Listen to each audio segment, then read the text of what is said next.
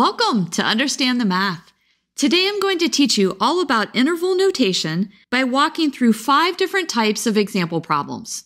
By the end of this video, you'll be able to write inequalities in terms of interval notation and be able to graph the interval.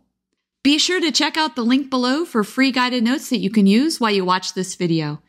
There's space in the notes for you to highlight the concepts that we'll go over and fill out the answers to the examples that we're going to do. Let's start by going over a few basics of interval notation. Interval notation is just a concise way to represent intervals of numbers. It uses parentheses and brackets. Parentheses are used when you have a less than or greater than symbol, and brackets are used when you have a less than or equal to or a greater than or equal to symbol. Let's now walk through five different types of examples.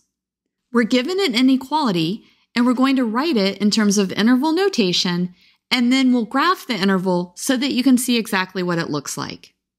Our first example is an open interval example.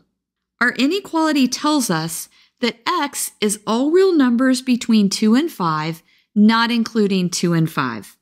Because we have less than symbols, the way to write this inequality in interval notation is like this we have a parenthesis, 2 comma 5, and then we add another parenthesis.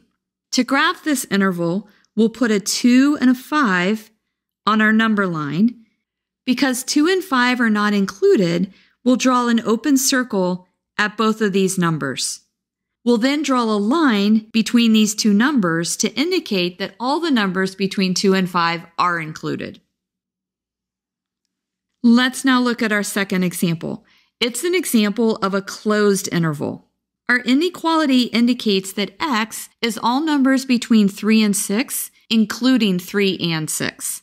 Because we have a less than or equal to sign, we'll use brackets for our interval notation. We'll write it like this, left bracket 3 comma 6, and then we'll put a right bracket. We'll put 3 and 6 on our number line, and then we'll put a closed circle at 3 and at 6 because those numbers are included.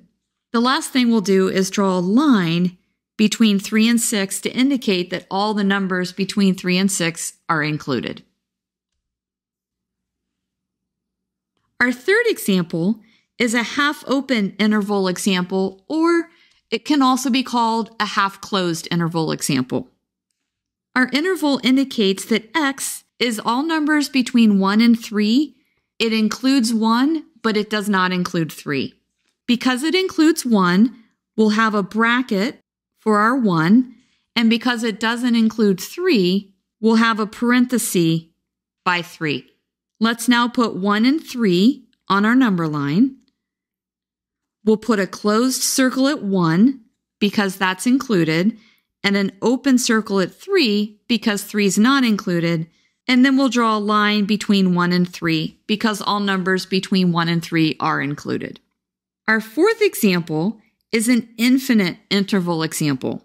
Our inequality indicates that x is all real numbers less than 2 extending infinitely to the left. To show that all real numbers less than 2 are included, we write our interval as minus infinity, comma 2. We'll then put 2 on our number line put an open circle at 2, and then draw our line to the left to indicate that all numbers to the left are included. Hang with me, we just have one more example. Our last example is another infinite interval example, except this one has an equal sign in it. This inequality tells us that x is all real numbers greater than or equal to 3, extending infinitely to the right. Because 3 is included, we'll put a bracket beside 3, and then it's going to go all the way to infinity.